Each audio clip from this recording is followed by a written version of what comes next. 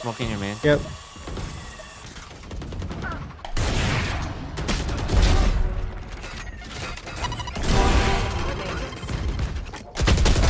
What a broken ass character.